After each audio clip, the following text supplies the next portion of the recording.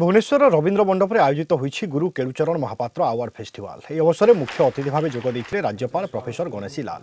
অতিথি ভাবে অর্থমন্ত্রী শশীভূষণ বেহেরা, ওড়িয়া ভাষা সাহিত্য এবং সংস্কৃতি বিভাগের নির্দেশক বিজয় কুমার নাইক প্রমুখ যোগ দিয়ে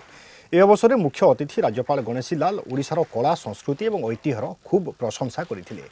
ଓଡ଼ିଶାର କଳା ସଂସ୍କୃତି ବିଶ୍ୱରେ ନିଜର ସ୍ୱତନ୍ତ୍ର ପରିଚୟ ସୃଷ୍ଟି କରିପାରିଛି ବୋଲି ସେ କହିଥିଲେ ଏହି କାର୍ଯ୍ୟକ୍ରମରେ ଓଡ଼ିଶୀ ନୃତ୍ୟ ମଧ୍ୟ ପରିବେଷଣ କରାଯାଇଥିଲା ଆସନ୍ତା ନଅ ତାରିଖ ପର୍ଯ୍ୟନ୍ତ ଏହି ଉତ୍ସବ ଚାଲିବ